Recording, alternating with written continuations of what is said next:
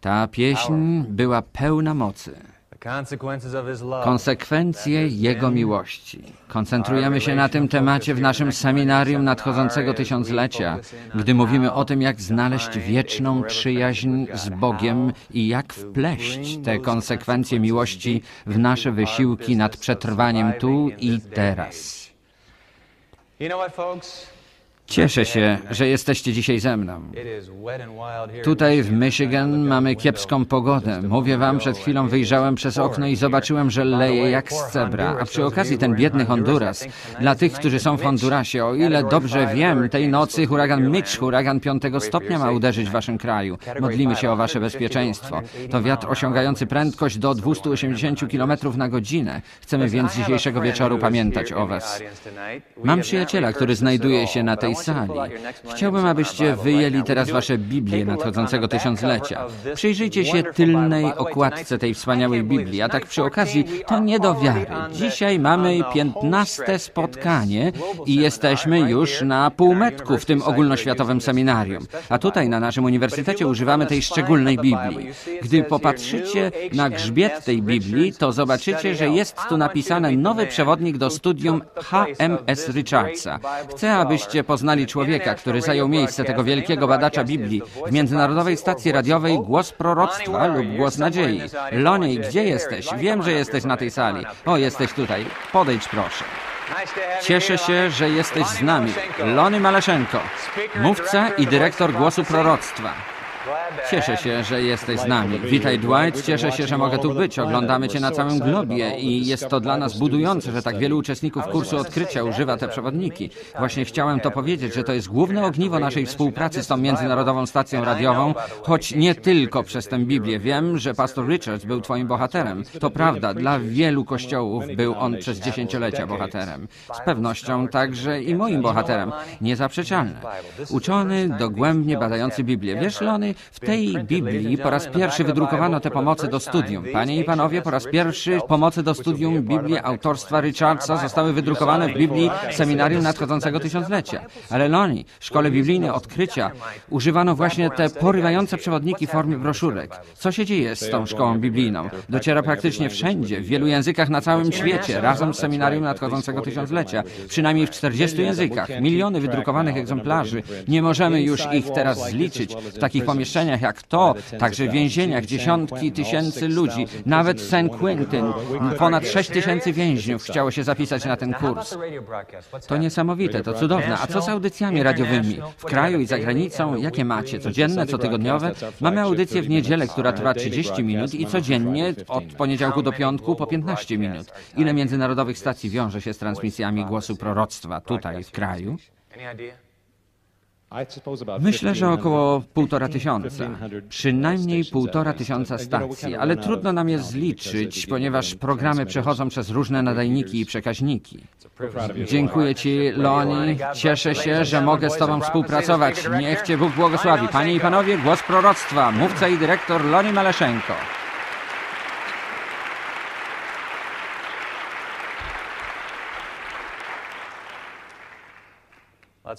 Módlmy się. O wielki Boże, ten plan zaniesienia historii Twojej miłości do całej planety jednocześnie. Przez radio, satelity, telewizję i słowo drukowane. Właśnie tak jak śpiewała o tym Lisa, gdybyśmy tylko mogli odczuć konsekwencje tej nieskończonej miłości Twego serca daru Golgoty, tej przyjaźni na zawsze, która była naszym tematem każdego wieczoru. Dzisiejszego wieczoru, drogi Boże, na tle bardzo złych wieści, niech pojawi się dobra nowina i niech nasze serca zostaną poruszone Twoim obrazem, takim obrazem, którego jeszcze nigdy nie widzieliśmy, a zebraliśmy się tutaj w imieniu Jezusa. Amen. Czy byliście już kiedyś w sądzie? Z powodu bardzo małych przewinień kodeksu drogowego, których się dopuściłem, miałem przyjemność znaleźć się w kilku salach sądowych tego kraju. Znam więc to uczucie. Stoicie tam i czekacie na wywołanie waszego nazwiska i staracie się ułożyć sobie w głowie, jak wyjaśnicie sędziemu to, że osoba taka jak wy i ja z nieskazitelnym rejestrem mogła być przyłapana na takiej prędkości. Muszę wam powiedzieć, że sędzia nigdy nie kupi czegoś w tym rodzaju. Wysoki sądzie, jeśli pracuje się dla Pana, to trzeba pędzić jak diabeł. Nie da się na to nabrać. Powie, następny winny, proszę odejść. Jestem świadomy tego, że nie ma na tej sali takiej osoby, która nie trzęsie się na samą myśl o przebywaniu w sądzie. Najpopularniejszy adwokat w Stanach Zjednoczonych w tym stuleciu, Louis Neiser, w swoim bestsellerze Moje życie w sądzie opisuje przeżycia fizjologiczne związane z przygotowaniem się na rozprawę sądową.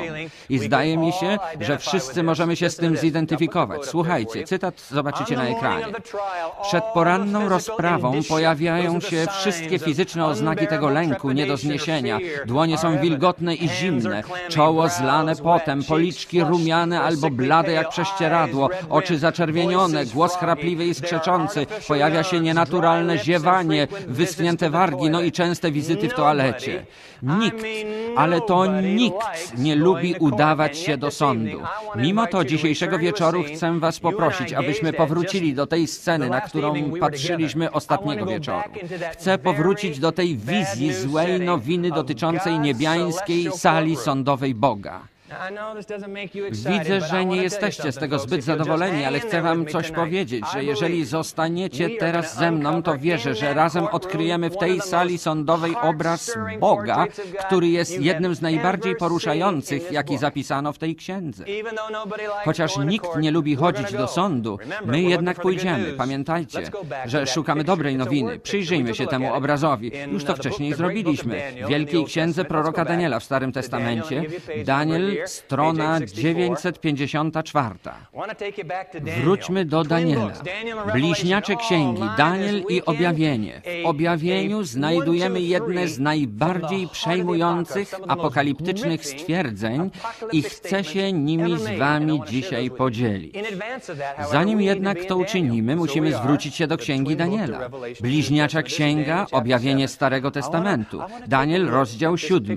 Chcę się przyjrzeć tej scenie jeszcze raz. Daniel, rozdział 7 i wiersze 9 i 10. A gdy patrzyłem, postawiono trony i usiadł sędziwy. Jego szata była biała jak śnieg, a włosy na głowie czyste jak wełna. Jeśli pamiętacie, jest to znak mądrości, wielkiego poważania. To nie jest jakiś staruszek. Słowa te symbolizują mądrość.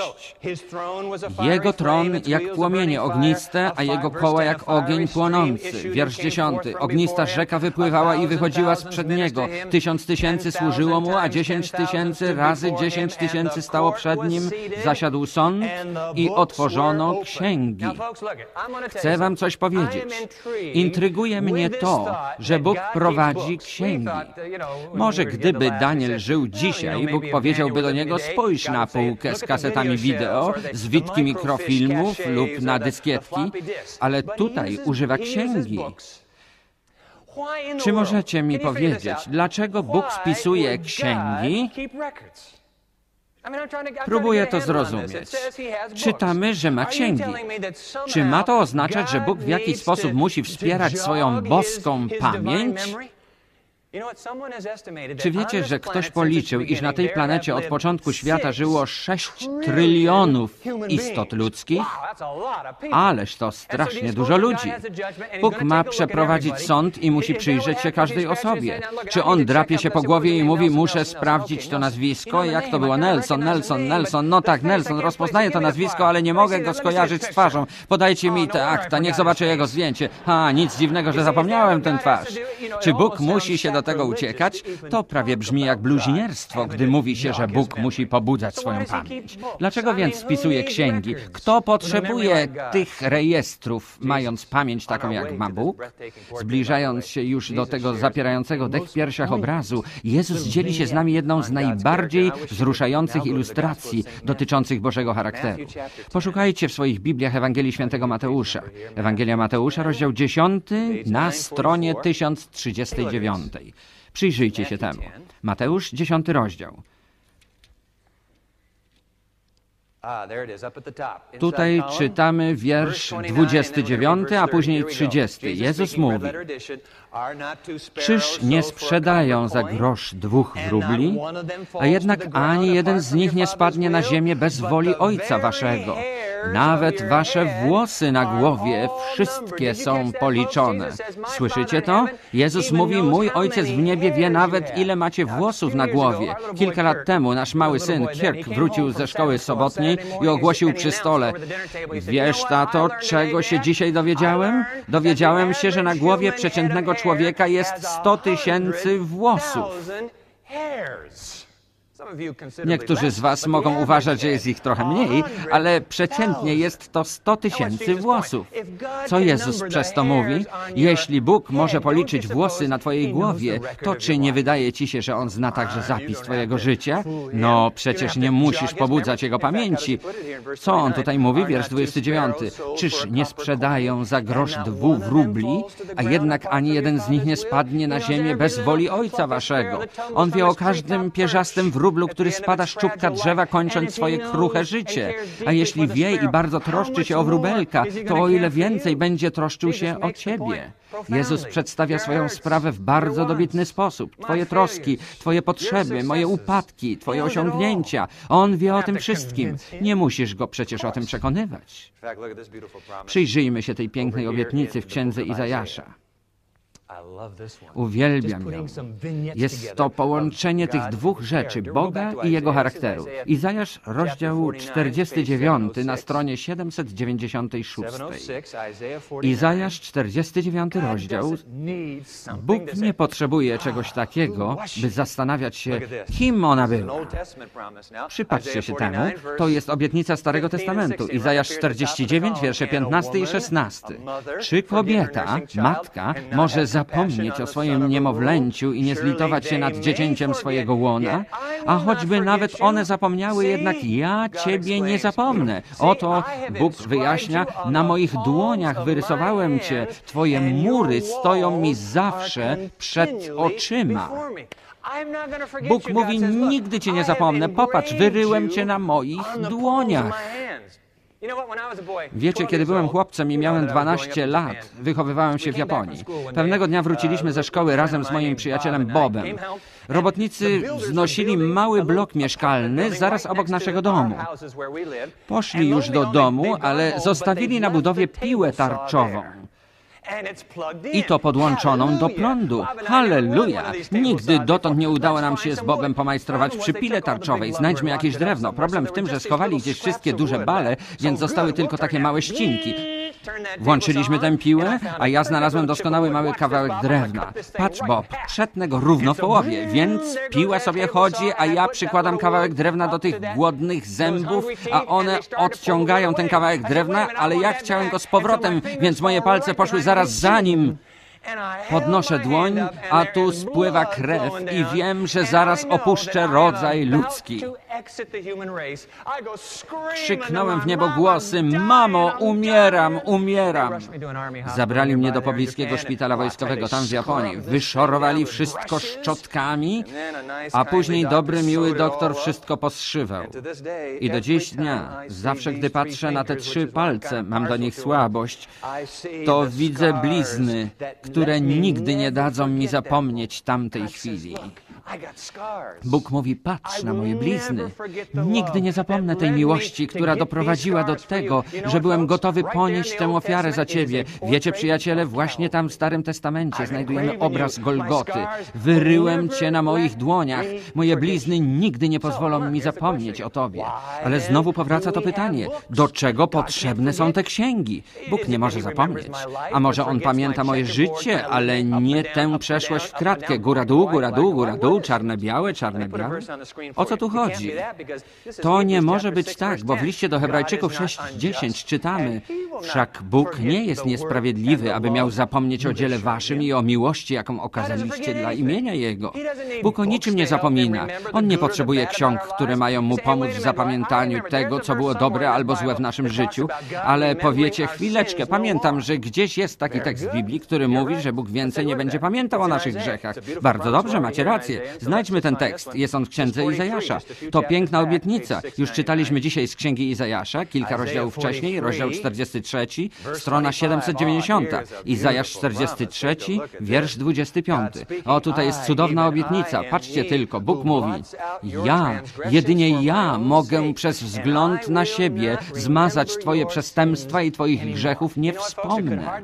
Moi drodzy, już jaśniej się tego nie da powiedzieć. Bóg mówi tutaj: Twoich grzechów nie wspomnę. Pytam się Was, czy to stwierdzenie dotyczy Bożej zdolności zapamiętywania, czy też Jego decyzji, aby zapomnieć? Tak? Kiwacie głowami, że to musi być jego wybór. Tak, macie rację. Popatrzcie na księgę Ezechiela, rozdział 33 na stronie 924. Ezechiel, rozdział 33. Tutaj mamy to wyjaśnione. Przy okazji chcę Wam powiedzieć, że to musi być zasadą, gdy tylko studiujecie tę księgę. Musicie pozwolić, aby ona sama siebie interpretowała. Jeśli przedstawiam moje zdanie, a Ty przedstawiasz swoje zdanie, to my tylko wymieniamy zdania. Ta księga musi interpretować się sama. Czytamy więc Ezechiela 33 rozdział, wiersz 14. Lecz gdy mówię do bezbożnego, na pewno umrzesz, a on lub ona odwróci się od swojego grzechu, będzie będzie wypełniał prawo i sprawiedliwość, będzie oddawał zastaw, zwracał to, co zagrabił, postępował zgodnie z zasadami życia, nie popełniając występku, na pewno będzie żył, nie umrze. Halleluja! Wiersz 16. Nie będzie się pamiętało żadnych jego grzechów, które popełnił.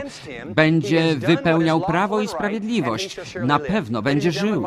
Panie i panowie, zapiszcie to. Nie będzie się pamiętało żadnych grzechów, które popełnił. To znaczy, że Bóg mówi, nie mam zamiaru wytaczać swoich grzechów przeciwko Tobie. Kiedy ich zaniechasz, wszystko załatwione. Ja zapominam. Nie będę ich trzymał w zanadrzu przeciwko Tobie. To jasne. Pismo Święte mówi w niezwykle jasny sposób sposób, że nasz wszechwiedzący Bóg przechowuje w swoim ojcowskim sercu zapis każdej łzy, każdego triumfu, każdego wróbla, każdego grzechu i każdego westchnienia. On nie potrzebuje żadnych ksiąg, aby poruszyć swoje serce albo żeby odświeżyć swoją pamięć. I znowu to nieuchronne pytanie. Jeśli Bóg nie potrzebuje tych ksiąg, to dlaczego mamy te księgi? Powróćmy do siódmego rozdziału Daniela, do tego obrazu. Daniel, siódmy rozdział.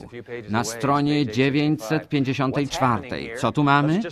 Przeczytajmy teraz tylko wiersz dziesiąty. Ognista rzeka wypływała i wychodziła sprzed niego. Tysiąc tysięcy służyło mu, a dziesięć tysięcy razy dziesięć tysięcy stało przed nim. Zasiadł sąd i otworzono księgi. Widzicie to? Tysiące i miliony, tysiące i miliony. Kto tam jest? To niebiański sąd przysięgłych, moi przyjaciele. Cały wszechświat przygląda się tej rozprawie. To właśnie dla nich prowadzono rejestry w księgach. Bóg nie potrzebuje odświeżania pamięci. Jezus wkrótce przychodzi, ale zanim powróci na tę planetę, dowiedzieliśmy się o tym na naszym ostatnim spotkaniu, zanim powróci, odbędzie się ta wielka rozprawa w sali sądowej nieba i otworzono księgi. Teraz docieramy do sedna sprawy, do tego obrazu. To niesamowite. Pomyślcie razem ze mną. Czy to możliwe, że w bardzo rzeczywistym sensie, w ostatecznym sądzie, Bóg pozwala postawić siebie samego przed sądem, a księgi są przeznaczone przede wszystkim dla niebiańskiego sądu przysięgłych? Sądu przysięgłych, który został upoważniony do ważenia ciężaru gatunkowego oskarżeń tego zbuntowanego anioła, które ciskane były w tron wszechświata. Lucyfer, który ze wściekłością występował przeciwko Bogu. Czy może tak być, że księgi przeznaczone są dla sądu przysięgłych do badania wiarogodności diabolicznych oskarżeń szatana? Ktoś wnosi oskarżenie przeciwko najwyższemu Bogu. Patrzcie na to, wiersz 25, w tym samym rozdziale, 7:25. I będzie mówił zuchwałe słowa przeciwko Najwyższemu, będzie męczył świętych Najwyższego, będzie zamyślał odmienić czasy i zakon i będą wydani w jego moc aż do czasu i dwóch czasów i pół czasu. Ktoś wypowiada zuchwałe słowa, ciskając oskarżenia przeciwko tronowi wszechświata. Kim według Was jest ta istota? Powiedzcie, pamiętacie wykład o Gwiezdnych Wojnach kilka wieczorów temu? Wróćmy do tego tematu. Ostatnia księga Biblii, objawienie, dwunasty rozdział. Nie musimy długo czytać tej księgi, a my poświęciliśmy tylko kilka wieczorów na nią, a natychmiast wiemy, kto to jest. Objawienie, rozdział dwunasty, na stronie 1340. 42. Aha, przeczytajcie to. Objawienie 12 rozdział, wiersz 7. I wybuchła walka w niebie. Michał i aniołowie jego stoczyli bój ze smokiem i walczył smok i aniołowie jego. Zatrzymajcie się tutaj. Musicie wiedzieć, że greckie słowo oznaczające wojnę w tym tekście to polemas. Od niego pochodzi nasz wyraz polemiczny. Słyszeliście o polemice. Oznacza to spieranie się, oznacza zaciekłą debatę. Tutaj oczywiście nie mamy do czynienia z walką na pięści. Rozgrywa się tu wojna filozofii. To nie jest wojna na pociski, ale potężne umysły walczące o poddanie i lojalność wolnego stworzenia. Toczy się wojna. Kto zostaje pokonany? Przeczytajmy to jeszcze raz. I wybuchła walka w niebie, Michał i aniołowie jego stoczyli bój ze smokiem i walczył smok i aniołowie jego. Wiersz ósmy, lecz nie przemógł ich i nie było już dla nich miejsca w niebie. I zrzucony został ogromny smok, wąż starodawny, zwany diabłem i szatanem, który zwodzi cały świat. Zrzucony został na ziemię, zrzuceni też zostali z nim jego aniołowie. Tak, wiemy. Wiemy, skąd pochodzą te oskarżenia. Niebiański sąd przysięgłych zbiera się, aby zważyć oskarżenia. Jakie według Was były te zarzuty? Lucyfer stawia wszystko na szali, aby podejść Ewę, jak czytamy w Księdze Rodzaju, trzecim rozdziale. Powróćmy do tej historii. Czytaliśmy już te teksty, ale jest to fundamentalna historia dająca nam zrozumieć strapienie, które cierpimy jako rodzaj ludzki. Czytajmy więc pierwszą Księgę Mojżeszową, rozdział trzeci. Możecie to zobaczyć, możecie to usłyszeć. Wiemy dokładnie, jaki jest jego modus operandu.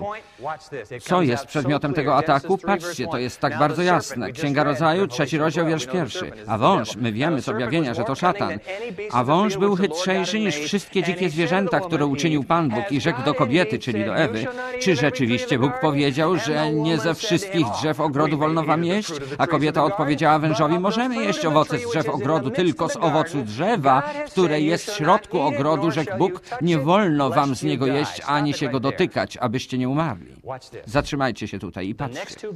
W następnych dwóch tekstach jasno czytamy o jego strategicznym wysiłku zwiedzenia rodzaju ludzkiego. Oczywiście wcześniej użył już tego sposobu w niebie. Patrzcie, jest to wiersz czwarty. Na to, że wąż do kobiety. Ha! To mój przekład. Na pewno nie umrzecie. Wiersz piąty. Lecz Bóg wie, że gdy tylko zjecie z niego, otworzą się wam oczy i będziecie jak Bóg znający dobro i zło. Moi przyjaciele, nie trzeba być błyskotliwym naukowcem, aby czytać między wierszami i zauważyć te podstępne zarzuty, które szatan przedstawia nic nie podejrzewającej Ewie. Wniosek? Mówię ci, kobieto, popatrz na mnie, syczy do niej te słowa. Nie możesz ufać Bogu. Mówię ci, on was okłamuje, wcale nie umrzesz, na pewno nie umrzesz. Jadłem te owoce, a czy jestem martwy? Mówię ci, to jest magiczny owoc. Jeśli zjesz ten owoc, widzisz, ja jadłem i mogę mówić. Jeśli ty zjesz z niego, to Bóg wie, że staniesz się taka jak on sam. A on się tego obawia, bo nie chce dzielić z wami wszechświata. Mówię ci za każdym razem, gdy Bóg daje wam jakieś przykazanie, to po to, aby was ograniczyć, aby ograniczyć waszą wolność. No, mówię ci, przed tobą długa droga. Trzymaj się mnie, kochanie. Chodź za mną. Nie ufaj mu. Dam ci wszystko, o czym tylko marzyło twoje małe serduszko. Powtarzam to, przyjaciele. Nie musicie być błyskotliwymi naukowcami, aby to wywnioskować. To jest dokładnie to, o czym on mówi. Nie możesz ufać Bogu. A jak myślicie, skąd nauczyliśmy się zawsze zwalać winę na kogoś innego? Pozwólcie, że wam coś przeczytam. Jedna z osób oglądających nasze seminarium, wiecie, że te programy są transmitowane przez satelitę na cały świat, więc ludzie mogą nas oglądać w swoich domach. Ona mieszka w Allensburg w stanie Washington. Informacja ta przyszła do mnie z listami właśnie wczoraj. Jest to artykuł z czasopisma Krąg Rodzinny z 1 listopada tego roku, czyli całkiem niedawno zatytułowany No, ale w końcu czyja to wina. Autor pisze, że w 1988 roku z rozbawieniem przeczytał w lokalnej gazecie, że we Włoszech pozorowana ława przysięgłych składająca się z prawników, nauczycieli akademickich, kryminologów i duchownych orzekła, że Kain nie jest winny zamordowania Abla. Ława zdecydowała, że należy wziąć pod uwagę okoliczności łagodzące. Rywalizacja rodzeństwa, kryzys wiary, żeby nie wspomnieć urazu, który był wynikiem odrzucenia. On nie mógł temu zapobiec. To jak w dowcipie, gdzie chłopak zabija swoich swoich rodziców, a później chciał wziąć sąd na litość, bo przecież był sierotą. Widzicie? To nigdy nie jest moja wina. To nigdy nie jest moja wina. Później autor wspomina o incydencie, który miał miejsce podczas rozgrywek piłkarskich drużyny New York Giants zimą 95 roku. Pamiętacie? Mieli tam bitwę na kule śniegowe, a tak naprawdę rzucali lodem. Pamiętacie?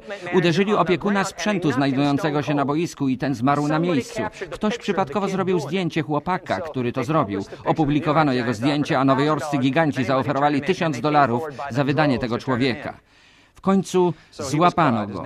Nazywał się Jeffrey Lynch. 28 grudnia włączam wiadomości na programie lokalnym i dowiaduję się, że Lynch będzie utrzymywał, że jest niewinny, jeśli jego sprawa trafi do sądu. Słuchajcie tego, to absurd, mówił. Przykro mi z powodu tego człowieka, ale uważam, że nie zrobiłbym tego, gdyby tam nie było śniegu. No tak, pisze dalej autor. To tak, jakby powiedzieć, nie zrobiłbym tego, gdyby Bóg nie dał mi rąk. Skąd my się tego nauczyliśmy? Skąd my się tego nauczyliśmy? Nie możemy ufać Bogu. To Jego wina, Jego wina. Moi przyjaciele, my to wiemy, że taki był modus operandi Bożego wroga od samego początku. Zawsze odrzucać winę. Jak czytaliśmy w księdze Daniela, będzie mówił zuchwałe słowa przeciwko Najwyższemu. Co się więc wydarzy? Co ma zrobić Bóg w obliczu tych oskarżeń? Według Daniela siódmego rozdziału, wierszy dziewiątego i dziesiątego, jak już czytaliśmy, zanim powróci Chrystus, Bóg zbiera niebiański sąd i księgi zostają otwarte. I słuchajcie, Bóg pozwala postawić samego siebie przed sądem. Tak naprawdę Księga Daniela nie jest jedyną księgą, która mówi, że Bóg będzie sądzony. Przyjrzyjcie się temu w Nowym Testamencie. Większość z Was nigdy tego nie wiedziała. Mała księga List do Rzymian. Pozwólcie, że podam Wam stronę. Strona 1210. List do Rzymian, rozdział trzeci. Ja tego wcześniej też nie widziałem. Rzymian, rozdział trzeci. To wielka sprawa. Bóg stawiający siebie przed sądem. Rzymian, trzeci rozdział. I gdzie mamy ten tekst? Trzeci wiersz. Bo co z tego, że niektórzy którzy nie uwierzyli, czy nieprawość ich niweczy wierność Bożą. Paweł mówi tutaj o Izraelu. W porządku, Izrael okazał się niewierny. Czy to oznacza, że ich niewierność czyni Boga niewiernym? Z pewnością nie. Wiersz czwarty. Wszak Bóg jest wierny, a każdy człowiek jest kłamcą, jak napisano, zwróćcie na to uwagę. Abyś się okazał sprawiedliwym w słowach swoich i zwyciężył, gdy będziesz sądzony. Czy uchwyciliście tę myśl? Abyś ty zwyciężył, kiedy ty będziesz sądzony. Pisarze biblijni przewidywali czas, kiedy sam Bóg będzie sądzony. Wytoczono przeciwko Bogu ciężkie oskarżenia. Wyniosłe słowa były wypowiadane przeciwko Najwyższemu. Pewnego dnia będą więc one rozpatrzone w sądzie. Bóg jednak nie zamierza zmieść je wszystkie pod dywan, ma do tego wszelkie prawo, mógłby, gdyby tylko chciał, no przecież panując nad kosmicznymi gigantami i nie ma Lucyfera. A później tylko dobrze wycelować i, i nie ma Adama i Ewy. Już nie ma nikogo, kto mógłby zakwestionować jego autorytet. Ale co by Bogu pozostało? Pozostałby mu tylko wszechświat, który już nie czciłby go z wdzięcznej miłości. O nie, kłaniają mu się mówiąc, tak, wasza wysokość, ze służalczego strachu. To właśnie pozostałoby Bogu i musiałby żyć z sobą samym. Wiecie, Bóg musi żyć ze swoim ja, a jego ja to inaczej miłość. Nie zapomnijcie o tej wielkiej prawdzie dotyczącej Boga, do której wciąż powracamy. Aby miłość była miłością, musi nie tylko dawać prawo powiedzenia tak, ale także do powiedzenia nie. Każda zakochana osoba na tym świecie o tym wie. Więc Lucyfer krzyczy teraz tonem buntownika nie. I te ciche głosy Adama i Ewy pojawiają się także nie, nie. I ogólnie mówiąc, od tamtego czasu cały rodzaj ludzki w swoim buncie wybrał mówienie nie. Jesteś Bogiem. A co może zrobić miłujący Bóg? Ty jesteś Bogiem i powiedz mi, co teraz uczynisz? A on mówi, postawię siebie przed sądem. Jestem miłością. Jedyna rzecz, jaką mogę zrobić, to pozwolić Lucyferowi na wytoczenie tych zarzutów. Niech rodzaj ludzki ma czas na budowanie całej tej sprawy buntu przeciwko mnie, a gdy już będzie wystarczająco dużo dowodów, zwołam posiedzenie sądu. Sąd zasiądzie i ja będę sądzony. Ach, cóż za Bóg. Przecież mógłby powiedzieć, spadaj i już cię nie ma. Ale on mówi, nie, nie, nie, nie, nie. Niech tak będzie. Niech tak będzie. Rozpatrzymy to wszystko w sądzie. Niech rozpatrzy tę sprawę cały wszechświat. Czyż nie jest to przyjaciel na wieczność? Mówię wam, dla mnie jest to niezwykle zdumiewające, że Bóg jest gotowy przejść to wszystko. A wiecie dlaczego? Ponieważ mówi, popatrz, nie jestem nikim, kogo miałbyś się lękać. Jestem kimś, z kim możesz się zaprzyjaźnić. Nie musisz ode mnie uciekać, możesz przybiec do mnie. Wszystko rozkładam na tym stole. Dowiodę ci, że moje serce reaguje na wszelkie istoty, które w swoich myślach kierują się miłością. Daniel mówi więc, że zasiadł sąd i otworzono księgi. I tak jak czytamy w liście do Rzymian, aby Bóg zwyciężył, gdy będzie sądzony. Powtarzam się teraz, ale chcę to podkreślić, że ten obraz Pisma Świętego zapiera mi dech w piersiach, gdy czytam, że Bóg wystawia się w tym przewodzie sądowym na całkowite ujawnienie siebie. Wiecie, za tydzień w naszym kraju mamy wybory. Jestem już znudzony politycznymi oskarżeniami, domniemanymi zarzutami. Nie można już nikomu wierzyć. Moi drodzy, komu można wierzyć? Czy można wierzyć komukolwiek? Czy to właśnie Pan powiedział? No cóż, kiedy powiedziałem to, to miałem na myśli to, a nie tamto zamiast tamtego, z powodu tego, tamtego i siamtego, cokolwiek oznacza to słowo. Moi drodzy, jakże pokrzepiająca to wizja rzeczywistości, gdzie podczas tuszowania, tuszowania, a przy okazji ktoś może powiedzieć, no tak, to w Ameryce. Nieprawda? Byłem w Australii podczas wyborów, w Japonii podczas wyborów, byłem w Indiach, byłem w Jugosławii. Wszędzie tak jest. Wszędzie. Jakże pokrzepiająca to wizja Boga w tym świecie, który poddaje się całkowitemu, całkowitemu ujawnieniu, kim jest naprawdę.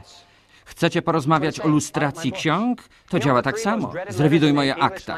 Czy wiecie, że trzy litery, które napawają największym lękiem w języku angielskim w Ameryce, to nie CNN, nie MTV ani ABC, to litery IRS, czyli Internal Revenue Service. Dla tych, którzy słuchają nas w innych krajach, jest to nasz urząd skarbowy. Powiem wam coś. Uderzają w ciebie mocno z obawy przed, oni także napełniają serce obawą.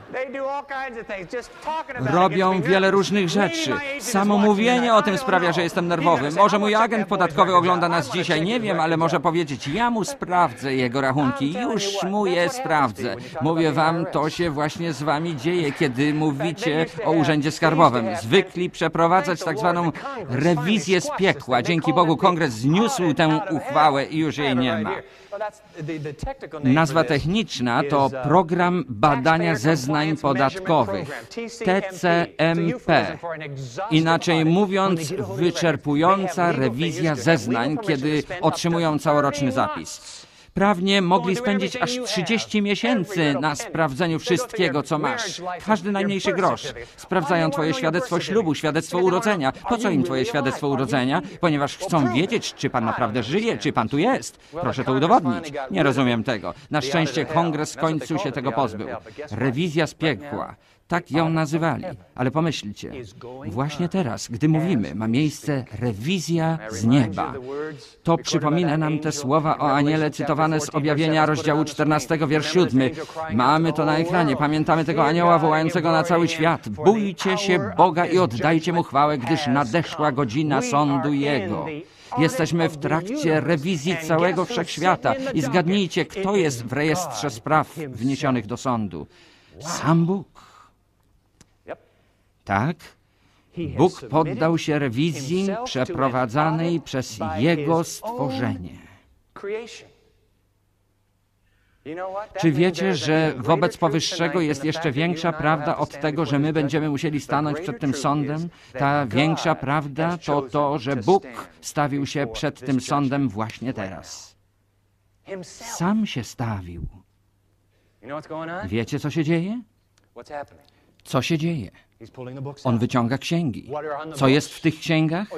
Teraz bardzo szybko musimy się temu przyjrzeć. Co jest w tych księgach? Czytajmy. Objawienie 2012. I osądzeni zostali umarli na podstawie tego, co zgodnie z ich uczynkami było napisane gdzie? W księgach. Następny tekst. Bóg bowiem odbędzie sąd nad każdym czynem, nad każdą rzeczą tajną, czy dobrą, czy złą. Wszystko jasne. Następny. Mateusz 12:36. A powiadam wam, że z każdego nieużytecznego słowa, które ludzie wyrzekną, zdadzą sprawę w dzień sądu. Następny. Bo tym, który mnie sądzi, jest Pan, który ujawni to, co ukryte w ciemności i objawi zamysły serc.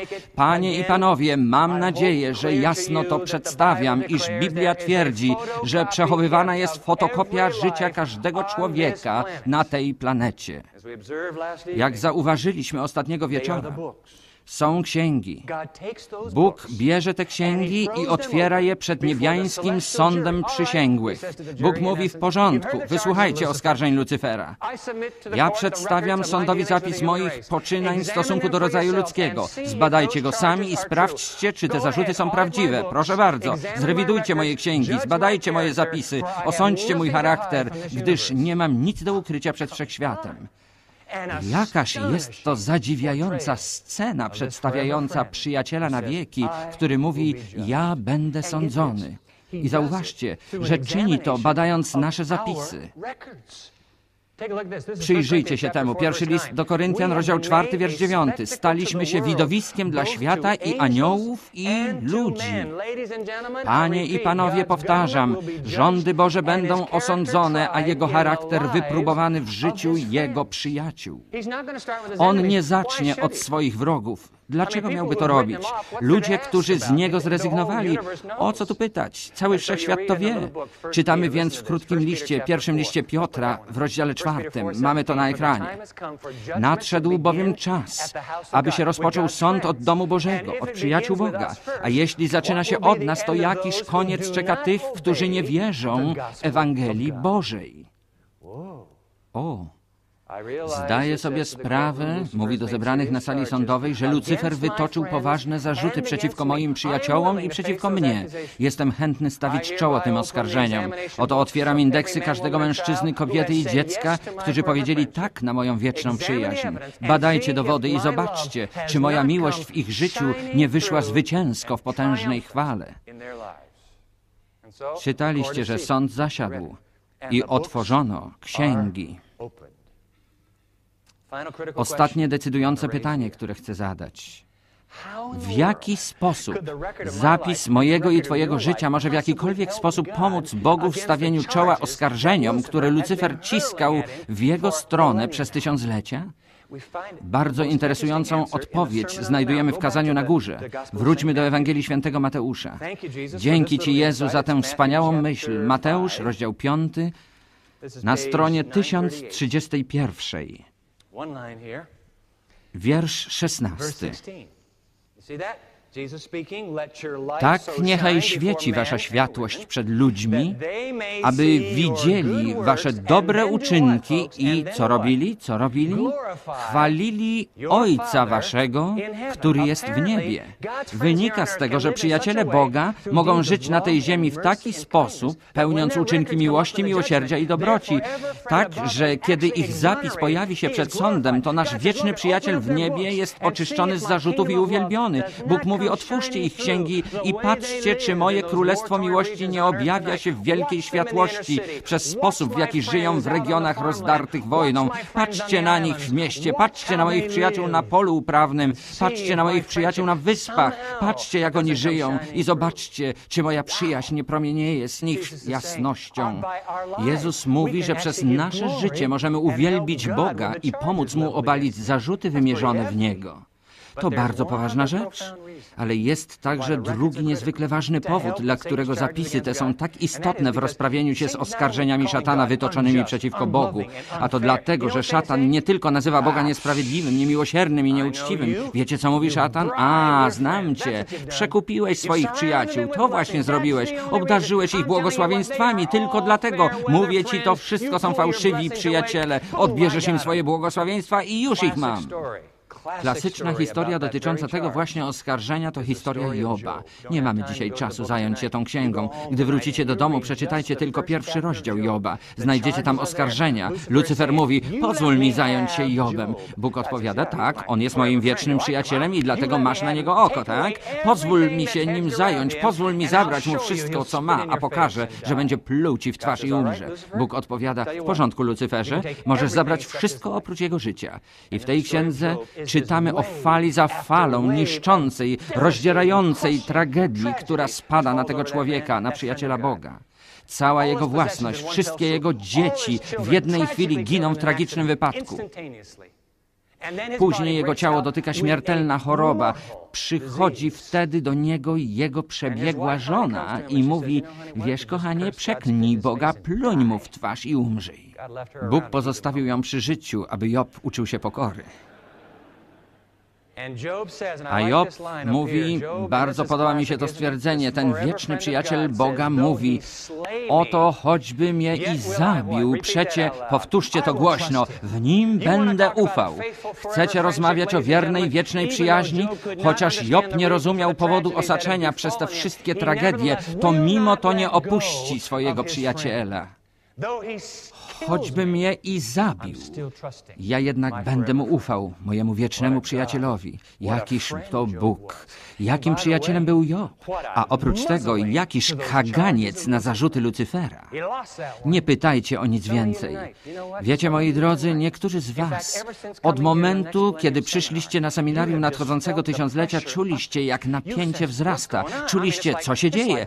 To tak, jakbym był atakowany. A wiecie co? Jesteście atakowani. Jest ktoś, kto zapalczywie stara się o to, aby historia waszego życia nie oczyściła Boga z zarzutów szatana. Możecie być pewni, że to On podkręca ciepło i ma was na oku, ponieważ ma nadzieję, że w jakiś sposób uda mu się złamać wasze przywiązanie do Boga, że uda mu się zniszczyć tę nową przyjaźń i roztrzaskać waszą wiarę w Zbawiciela, Jezusa Chrystusa. Ma was więc na oku. Jednak jeśli będziecie trzymali się Boga tak jak Job, mówię wam, gdy wszyscy jak tu jesteśmy uchwycimy się tej przebitej gwoździami dłoni naszego przyjaciela na wieki, on nas bezpiecznie przeprowadzi. Obiecuję wam, On nas bezpiecznie przeprowadzi, przyjaciele. Chciałbym zakończyć pewnym tekstem, który bardzo lubię. Popatrzcie, jak opisane jest pokolenie Titanika czasów końca. Wieczni przyjaciele Boga, zwróćcie waszą uwagę na ostatnią księgę Biblii, Objawienie, siódmy rozdział. Chcę zakończyć tym tekstem, a później opowiedzieć wam historię. Objawienie, rozdział siódmy, na stronie 1339. Objawienie, siódmy rozdział. Chcecie rozmawiać o żyjącym teraz pokoleniu? Patrzcie na to na całym świecie. Jakże lubię ten tekst, a pisze go stary człowiek Jan. Wiersz dziewiąty. Potem widziałem, a oto tłum wielki, którego nikt nie mógł zliczyć z każdego narodu i z wszystkich plemion i ludów i języków, którzy stali przed tronem i przed barankiem odzianych szaty białe z palmami w swych rękach, wschodnim symbolem zwycięstwa i triumfu. A kim są ci ludzie? Wiersz trzynasty. I odezwał się jeden ze starców, jedna z istot niebieskich i rzekł do mnie, któż to są ci przyodziani w szaty białe i skąd przyszli? Wiersz 14. I rzekłem mu, Panie mój, Ty wiesz. Pokiwał twierdząco głową, a on rzekł do mnie, to są ci, którzy przychodzą z wielkiego ucisku i wyprali szaty swoje i wybielili je we krwi baranka. Moi przyjaciele, zapamiętajcie to dobrze. Będzie na tej ziemi u kresu wieków takie pokolenie, które przetrwa do sądu ostatecznego, które przetrwa do ostatniej bitwy, do samego końca, ponieważ ludzie ci trzymają się dłoni swego wiecznego przyjaciela. Ta dłoń ma ślad po gwoździach. Należy do tego, który walcząc ręka w rękę na Golgocie, w tym śmiertelnym zmaganiu, grając z Lucyferem w otwarte karty, pokonał wroga na krzyżu.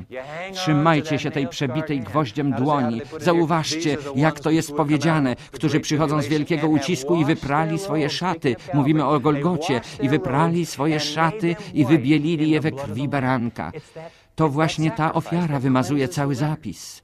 To właśnie ta ofiara zapewnia uniewinnienie.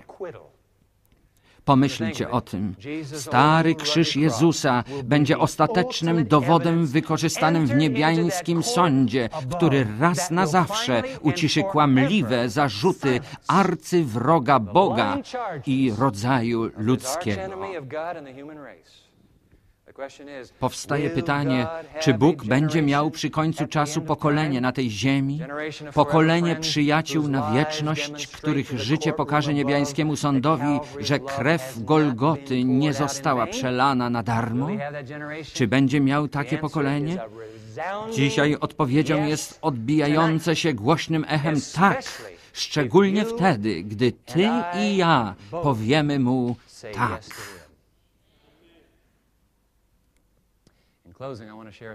Kończąc, chcę podzielić się z Wami pewną historią, którą opowiedział mi mój przyjaciel Mark Finlay. Razem ze swoją rodziną byli w Londynie i zwiedzali pewne miejsca w tym wielkim mieście. Udali się także do królewskiej mennicy. No wiecie, to właśnie tam skarb Zjednoczonego Królestwa przechowuje i mierzy zasoby brytyjskiej waluty. Udają się tam i wchodzą do pokoju, który zabezpieczony jest przed przeciągami, gdzie stoi doskonale wyzerowana waga, używana do dokładnego ważenia pełnowartościowej monety. Wchodzą do sali, zamykają drzwi, żadnych przeciągów. Przewodnik mówi, zaraz Państwu coś pokażę. Chcę Wam pokazać, jak dokładna jest to waga. Mam tutaj dwie identyczne kartki papieru. Kładzie więc jedną kartkę na jednej szali i drugą kartkę na drugiej szali. A jest to przyrząd LED sterowany elektronicznie. Doskonała. O, ona jest naprawdę dokładna. Tak, mówi, ale pokażę wam jeszcze coś. Zdejmuję więc jedną z kartek. Druga szala opada. Czy ktoś może podać mi długopis? Jeden z turystów podaje mu długopis. Patrzcie na to. Przewodnik bierze długopis i podpisuje się na kartce, którą zdjął z wagi. Kładzie tę kartkę z powrotem na szali.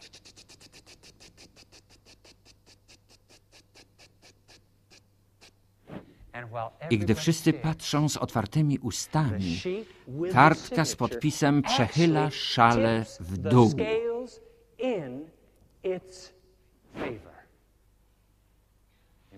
Wiecie, moi drodzy, macie dziś ze sobą kartkę?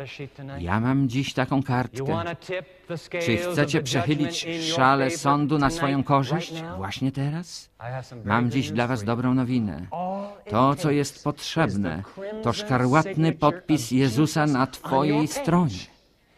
I szala wagi zawsze przechyli się na twoją korzyść. Co na to powiecie? Czy to nie jest coś wielkiego? Jezus sam wypowiedział te słowa w piątym rozdziale Jana. Popatrzcie na to. Zaprawdę, zaprawdę powiadam wam, kto słucha słowa mego i wierzy temu, który mnie posłał, ma żywot wieczny i nie stanie przed sądem, lecz przeszedł z śmierci do żywota. Moi przyjaciele, wszystko, czego wam potrzeba, to złożenie przez Niego dzisiaj podpisu na waszej księdze. Właśnie teraz. Jego podpis.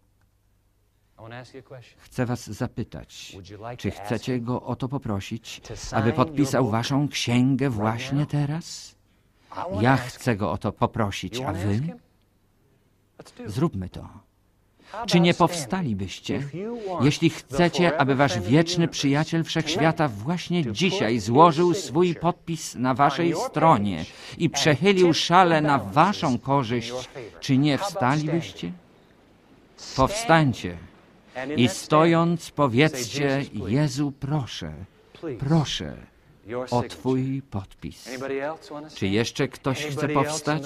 Czy jeszcze ktoś dzisiaj wieczorem chce powstać na całym świecie? To jest właśnie tak proste, mój przyjacielu. Tylko powstanie i poproszenie Go o to, aby był Twoim Zbawicielem. Proszę, Jezu, o Twój podpis na mojej stronie, a szala zawsze będzie przechylona na moją korzyść. Czy to nie jest cudowne? Czy może być dziś wieczorem jakakolwiek lepsza nowina? Dlatego nie musisz obawiać się sądu. Ten obraz dobrej nowiny, gdzie Bóg jest wciąż naszym przyjacielem na wieczność. Módlmy się. O nasz Panie, chcę Ci podziękować. My wszyscy chcemy Ci podziękować. Jakim wielkim jesteś Bogiem. Większość ludzi zostawiłaby nas samych na ławie oskarżenia na pastwę losu. Ale Ty przychodzisz, stawiasz pierwszy krok i mówisz, ja zajmę ich miejsce. Badajcie mnie, przejrzyjcie moje zapisy. Ojcze, nie ma tu ani jednej osoby, która byłaby dumna z tych zapisów tam na górze. Wiemy, co na nich jest.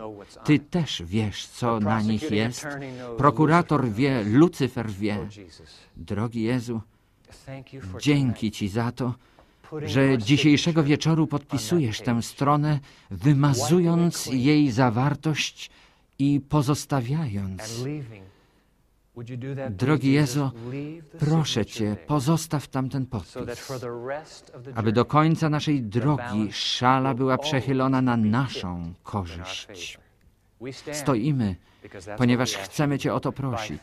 Wierzymy dzisiaj, że to jest możliwe, mimo że Ty już tego dokonałeś.